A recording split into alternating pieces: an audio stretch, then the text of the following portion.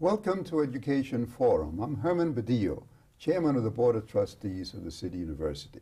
The improvement of education affects all New Yorkers. This program will focus on the key educational issues and challenges before us all. My guest today is Diane Ravitch, who is one of the foremost scholars in education in this country. She is a research professor at uh, New York University and a senior fellow of the Brookings Institution. She has written or edited uh, 17 books, and her latest book is called uh, Left Back A Century of Failed School Reforms. The New Republic, in a recent review, said that her book is the most important book written about the most important uh, public institution in America today, the schools. And her book is an authoritative uh, history of education in the 20th century. Diane, welcome. And what I'd like you to do is uh, not easy to summarize the 20th century in terms of school reforms quickly. I think we can begin um, before the beginning of the 20th century with, in 1892, I believe, there was a committee of 10 Yes. that was appointed to prepare a program. And then Right. uh, tell us about that from there on. Well, what, what I've tried to do in this book is to tell a story and to give all of the evidence to say this is not just my story, this is what happened. Uh, it's a century of arguing about education. It's a century that began with an ideal that we would try to provide the same quality of education for all children. And the ideal, which was stated in the 1890s, was very far from reality. Very few children in the 1890s went to high school. Uh, very even fewer graduated from high school. Um, for many children from uh, racial minorities, there were no high schools available. But the ideal was as we began to expand high schools and to reach all children, the quality of education should be the same for all. Well, what's wrong with the ideal? It's a wonderful ideal. It's, it's actually my ideal. It's my Uh, ideal too. But the story of the 20th century has been a constant assault on this idea. and who, and- who was the assaulter? Well, there were bad ideas, and I, I don't I don't castigate individuals, but I do hold up to examination ideas that have had very bad effects. Uh, one of the examples uh, that that I would give in giving this kind of quick capsule summary is the importance, the negative importance of IQ testing. And when the IQ test was first invented in the beginning of the 20th century, it was supposed to be a way of helping children, help identify children who had special needs. But then it was used on a massive basis in World War I to say these, these few will be the officers, and this large number are not smart enough to be officers. They'll go out to the trenches. But when World War I was over, the education psychologists took these IQ tests and marketed them to America's public schools, and they said IQ is fixed, it's changeable, it's innate, it's inherited, and once you can identify who are the very smart ones and who are the not so smart, you can give your very best uh, teaching, your best education to the few, and fit the others to, for jobs. forgetting about the application, the, the, the theory that IQ does measure intelligence is still a, a prevailing uh, theory today. What's wrong with that? Well, IQ measures intelligence, but, uh, but it's all relative. In other words, uh, intelligence can change. Uh, children in the same family have different kinds of intelligence.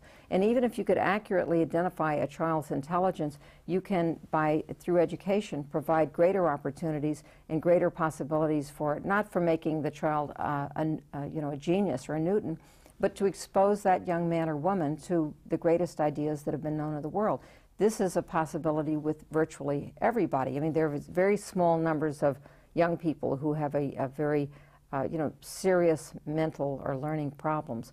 The vast majority of people can be educated, and what I showed So if was you have an, only an average IQ, you should you would be able to be educated. Of course. Uh, and what happened after World War I was that there were many books written about the IQ testing in the Army, and the, the leading psychologists were saying the average American is stupid. The average American has the intelligence of a 13 year old. And so uh, there was legislation passed to limit immigration uh, because the assumption was, well, all these immigrants are dragging down our country. And, and this was wrong because what, the, what we saw in the Army IQ test was the longer people, uh, men and women who were immigrants, stayed in America, the better they knew the language, and the better they knew the English language, the better they did on the IQ test. The IQ test was not really a, a measurement of native intelligence so much as it was a measure of educational opportunity.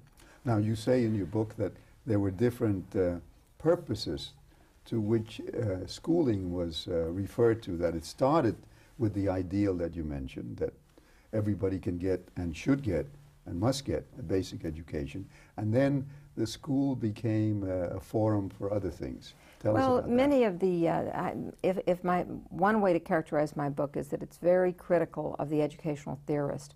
And the educational theorists who were ensconced in the great institutions of, let's say, the pedagogical institutions, had theories about who should be educated and who should not be educated.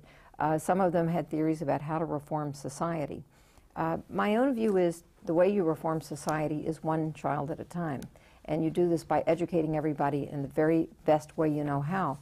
Uh, the educational theorist, however, saw social reform in a variety of ways. One was let's prepare some children, a few for college and the others for jobs.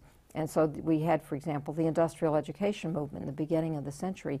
And they were marking children at the age of 10, 11, and 12 and saying these are the children sh- that should be prepared for factory work.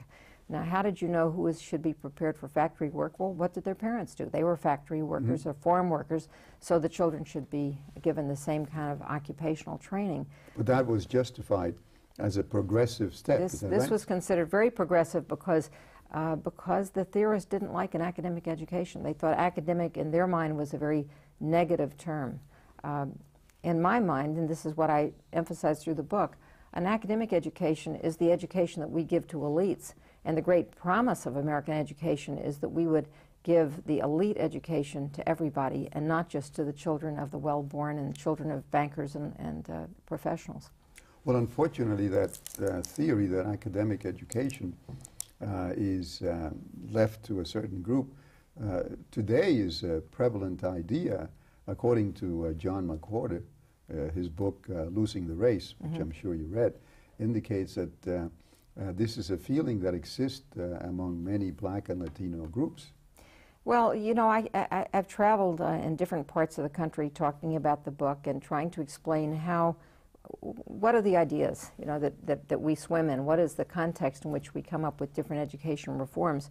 And so as I explain this fundamental idea of tracking, of saying this is the elite, the elite gets the elite education, and then the 80% or the 70% will get something watered down, so many people call in, uh, especially in these call-in shows, and they say, that's what happened to me. I was told in seventh grade that I should be a secretary, mm-hmm. and it was only later that I discovered that I really could learn how to read. I really could, I really had the potential for a college education. And so many people discovered too, too late or, or later in life.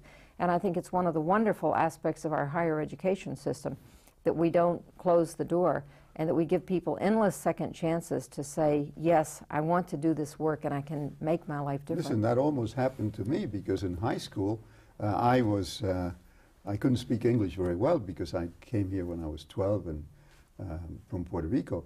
But I was put into a, a class uh, for airplane mechanics, vocational course. And Mhm. fortunately, I, I was able to transfer to the academic uh, diploma just in time, just barely in time. Otherwise, I would now be unemployable because uh, Because what you learned learned that is many not jobs in airplane right. mechanics.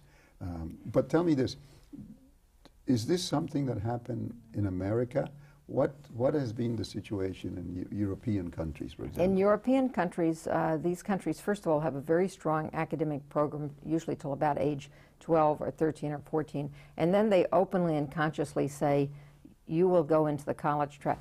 We were not doing this openly, and this is my big complaint was that we were, there was the pretense of having a democratic system of equal educational opportunity, when in fact we had adopted a virtually a European tracking system without admitting to it.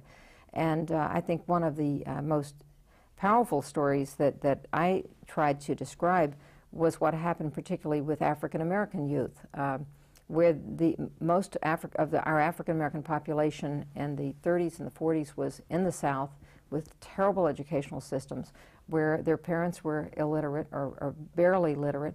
The children had maybe a fourth or fifth grade education and then were left school to go work in the fields. And these were the families that moved to the north, desperately in need of education, and came to cities like New York and Chicago and, and other, uh, Detroit, other major urban centers, where they encountered a school system that said, oh, we tested this child, he has a low IQ, lowest Mm-hmm. track, low expectations. The effort to raise this child up were very limited because of the, the built-in assumption that the IQ explains why this child and is so far behind. and the parents were not given the uh, the necessary reinforcement to uh, make them feel that their children could achieve. right. So that contributed to the fact that they had not had a tradition of education coming in from the south, right? Right, and then too, uh, in, in terms of the kinds of schooling that was available for children, it wasn't simply a matter of tracking and low expectations, but in the inner city schools, it- these were the most, um, uh, the worst schools. They had the greatest turnover of teachers. Uh, Kenneth Clark wrote a very powerful uh, series of books in the 1950s and 60s describing how, how the hostility between the teachers and the children and the lack of remediation of intensive what these kids needed was intensive instruction and they were not getting it instead they were getting low track low expectations Before we get to um, New York City and New York State, tell me about the Asian kids, for example, in Japan, because the Asian kids seem to be do be doing better in our system, no? Well, the Asian kids have one enormous advantage, which is in their culture, uh, they grow up with the belief that effort is paramount. Uh, in our culture, because of this, I believe because of the inheritance of the IQ testing movement, we say, well, you know, you either have it or you, or you don't. And if you don't have it, give up. Don't try. And then we reinforce this emphasis on ability, not effort, by allowing children to have a wide range of choices. So children say, well, I'm not really good at that. I won't take that course, and I won't take that course. I won't take history, and I won't take science, and I won't, I'll take the lowest level math. So they, in effect, they track themselves. The Asian kids don't have a choice. The Asian children don't have these choices, and they have a, uh, the cultural, the education culture says, if you work hard, you can get it. Effort is what counts above all. And the mothers and the, and the parents believe this, and they reinforce it constantly to the children. Hard work produces results. and that tradition is brought over here. Yes. And, you know, when the Asian kids see the American school system, they say, well, this is like coming into a room full of candy. I can do all of these things. If I work at it, I will learn English. Uh, and they know that they can't succeed in our society without mastery of the English language. So they work hard at learning English. You'll notice in the bilingual programs, and at least in New York City, and I'm sure this is true everywhere, the Hispanic children remain in bilingual for many years. Right, many, many years more. more. Six, seven, eight years. Asian children get out of bilingual programs as rapidly as they can, and uh, they understand hard work produces success, and that's what we should be teaching all of our kids. We'll be back after these announcements.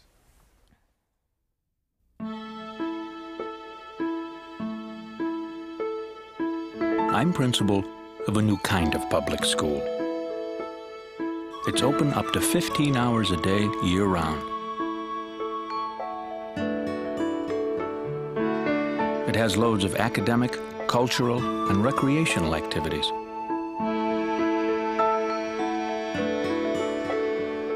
We have medical and dental services right here.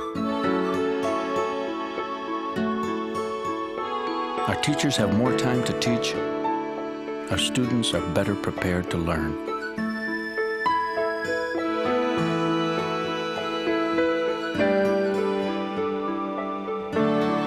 There's just one problem. We can't get the kids to go home. Find out how your public school can be more like this one. Call 1 877 Love to Learn. We're back today with Diane Ravitch, an educational scholar whose latest book is Left Back A Century of Failed School Reforms. Now, we talked about the problem nationally, but let's talk now about New York City and New York State. Uh, you support standards, and I support standards, and New York State Commissioner Mills and uh, Chancellor Hayden and the Board of Regents have come out for uh, having standards in high school so that in the very near future, no student will be able to get a high school diploma unless they pass the regents. And you've been critical of that in an article in the New York Times. Why is that? Well, uh, my first criticism was that I didn't feel that the state standards were good enough. I, I felt that it's important if you're going to, to make that the basis for finishing high school, the standards should be very clear so that teachers know what to teach, students know what's expected of them. You mean the standards in every grade? Yes, and also I felt I had reviewed the English standards and the uh, social studies standards, and I felt that in the case of the English, it was so it was very vague. Uh, really, it's not especially demanding. And then in the history, or the uh, global history and, and U.S. history, it's just the amount of material is simply overwhelming, so that it would be very hard for a teacher to know this is what I'm, the students will be held accountable for. So my first criticism was that I thought that they that the state needs to improve the standards and make be much clearer without being trivial. Um, I, I believe now, as we get closer to the time where the standards are going to really begin to have an impact, uh, that the that Commissioner Mills and the regents should offer opportunities to, for for schools who, that have a very conscientious objection to the to the regents, and there are such schools. They should allow them to say, we will have students take the international baccalaureate exams. This is much more difficult in the regents, but some schools say they'd rather do that. Really? Wh- should- Why would they want to take a more difficult exam? because there are some schools that say anything but the regents. I, I mean, the I don't Regents is- agree. Because the Regents is, is not tough enough. Frankly, No, I, no. one of the things I don't like about the Regents is that uh, while it appears that they have very high standards, in fact, uh, they lowered the Right. passing mark to 55, well, which they did, and is, is not having and, high and standards. also when you realize that uh, in the past only 20 something percent of students in New York City were passing the regents, now it's up in the 90s. You have to believe that the scoring uh, of these exams not is much strong, less than what it used to be. But some schools have conscientious objection to the regents, so they should be able to take advanced placement exams. They should be able to take SAT exams. There should be, I, be- I- believe, for those schools that have this recoil factor, they should have these alternatives, but it shouldn't be just low minimum standards. Uh, but I think that there is virtue in having uh, multiple exit routes as long as they all represent a clear standard. What I am very troubled by is that I have seen uh, newspaper reports of high school principals who say it's wrong to expect my children to pass standards because my children are foreign born, they can't pass the English regents. well, I'm told that at the And- City University. Right, but you know, you have to ask, and at least I ask myself, why would they want to give a high school diploma from the city of New York to a student who can't read and write English? It's the job of the school, the high school, to, to teach these things and not to make excuses about why it can't be done. Well, but this is, still happens. Commissioner Mills tells me that uh, even though uh, the school's chancellor and the principals and others have asked that the, uh, the, the provision of the regents be uh, pulled back, he won't do it because he wants to keep the pressure on, especially in the New York uh, Board of Education. Well, you know, I think that uh, there, there are many people who object to the pressure, but what has happened nationally is, I think, very relevant to New York. The, having an exam, which at the end of the day students must pass, has created enormous pressure to increase uh, instruction, uh, to improve, improve the quality of teachers, uh, increase the amount of pre-kindergarten uh, instruction because people say it's not fair. But if it's not fair, what are we going to do about it? You can't just say abolish the exam. What you have to look at is the whole educational system and say why are kids beginning first grade not knowing uh, you know the most basic kind of vocabulary that they need. And as you look across the system, what this exit exam is forcing people to do is to strengthen the the, the entire K through 12 system. Okay, now you wrote another article which addresses that issue for the City Journal called Our School Problems and Its Solutions. Now, why are kids coming into the first grade uh, unprepared for school? Well, I, I do think that we need to have much, much better pre-K programs, and I, I didn't go into this in this article. I think that Head Start has been very disappointing, and I've looked at the latest evaluations of Head Start, many, many of our New York City kids are in Head Start programs. Head Start doesn't even attempt to teach children in most Head Start centers. They don't attempt to teach them literacy, numeracy. They don't give them the kinds of enrichment, uh, intellectual enrichment, uh, that they would get if they were in a middle class home. So I think that Head Start needs to be changed. We need to have better trained teachers in Head Start, better paid teachers in Head Start. Well, New York State just recently passed um, a, a pre-K uh, program and money for it, uh, which should help what you have. But tell me this. No matter what the pre-K or the Head Start program is, are, can the children, especially from uh, area in the American, African American and Latino families in the South Bronx, can they ever be prepared for school adequately? Yes, uh, but it requires, I believe, I mean, uh, by the parents before they get by to the the parents. I think that some parents can't do this, and this is why we have schools. And and you know, many people have said to me, "Well, how can you really expect to have children meet standards when they come from such different homes?" In other And words, the can the schools make up the difference between what a, uh, a, a poor uh, family where nobody in the family has a good education and a family that uh, where the parents are all college graduates? The- the- Both kids come yeah. into The- the, the- first the grade. children- can that be? Can that be? Uh, Right. The children addressed. whose, whose parents have uh, a college education will always have a huge advantage. But the reason we have public schools is to narrow that advantage. And the schools have to consciously attempt to reduce and, if possible, eliminate the, that, that huge gap. This is very difficult. But this is why it's so important that we have well trained teachers, not just well trained, but well educated teachers, that we have teachers who themselves speak the English language, read the English language, know how to teach reading. I mean, the, the reading well, do we, instruction. do we have those teachers? No, we don't. I Well- mean, we do in some cases. I won't say no across the board. But the reading instruction in the city is still wedded to something called whole language. And I described in my book how whole language has failed. What is that? What is Oh, whole it- language? this is the idea that you don't actually teach children to read; you just surround them with books. Well, this does, this is fine if you if both your parents are college educated, because mo- many of those kids learn actually learn to read at home.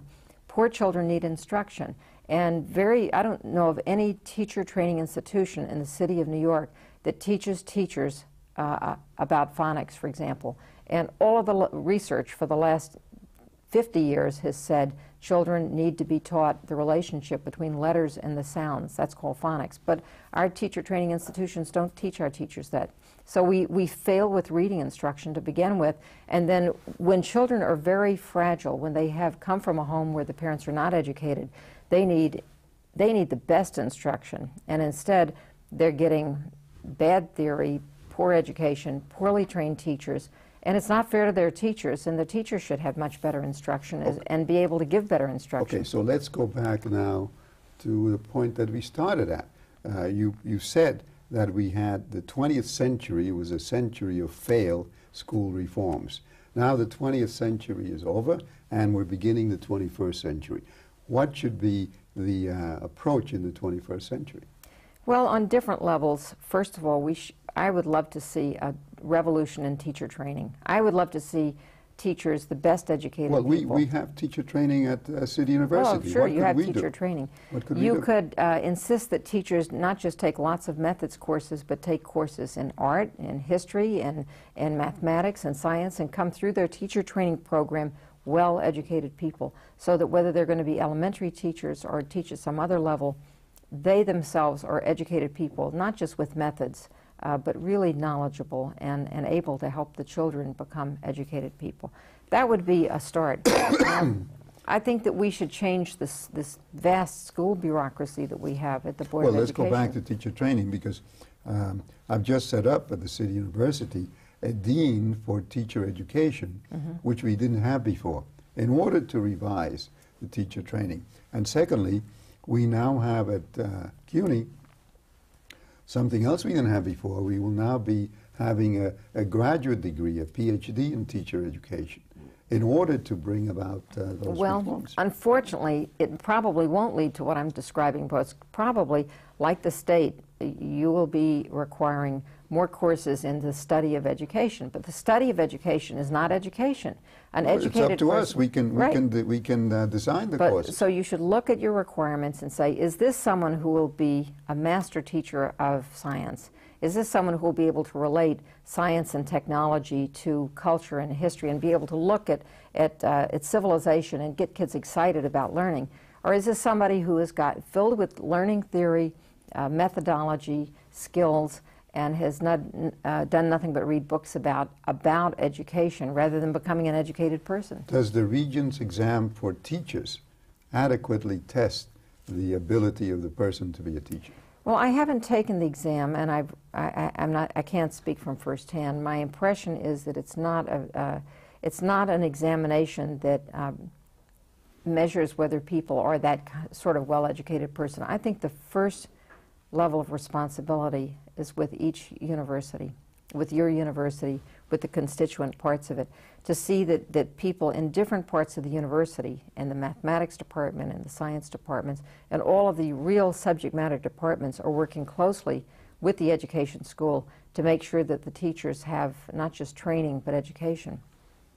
Well, listen, I, um, I would like your help in designing uh, a better program Good. for teacher education I'll be happy to because. Uh, I have not certainly been satisfied. We have not had, uh, in the past, we haven't had uh, great success. We've had great success in some of the colleges, but we haven't in the other colleges. And as far as I'm concerned, uh, the test is whether we can uh, duplicate and replicate the programs throughout.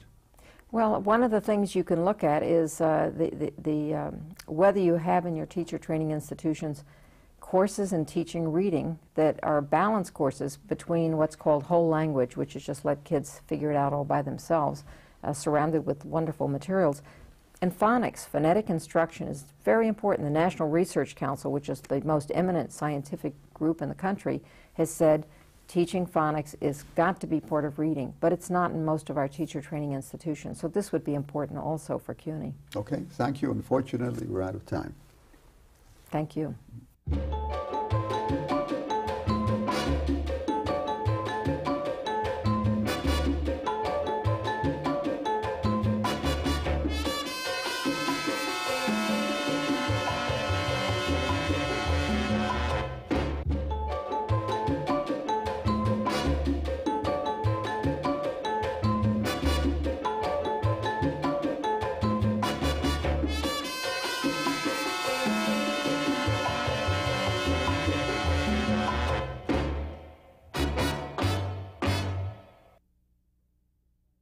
You can reach us by email at our website, www.cuny.tv,